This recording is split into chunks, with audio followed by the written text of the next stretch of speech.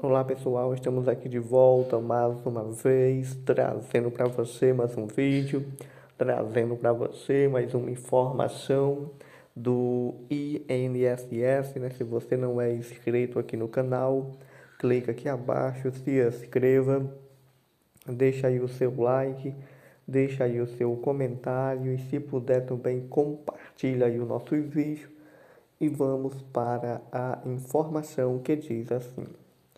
O que é o 14º salário? O 14º salário do INSS ele foi concebido como uma medida temporária proposta em 2020 para oferecer um alívio financeiro adicional aos segurados do INSS. O projeto de lei de número 4.367 do ano de 2020, de autoria do deputado Pompeu de Matos, do PDT, propôs um pagamento extra de um salário anual aos aposentados e pensionistas para mitigar os efeitos econômicos da pandemia.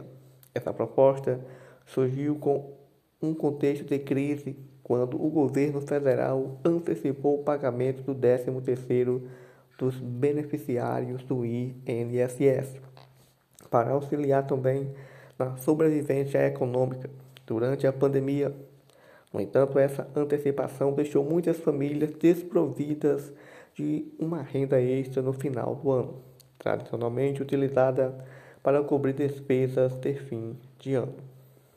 Desde a sua apresentação, o projeto de lei de número 4367 do ano de 2020 enfrentou diversos desafios. A aprovação da proposta esbarrou-se em questões orçamentárias e na falta do conceito político, o que gerou sucessivos adiamentos na sua tramitação. Em 2023, o projeto recebeu parecer favorável da Comissão de Constituição e Justiça, CCJ, mas ainda não há uma data definida para sua votação final no Senado. E nos últimos meses, uma nova confirmação sobre a possibilidade de acontecer esses pagamentos.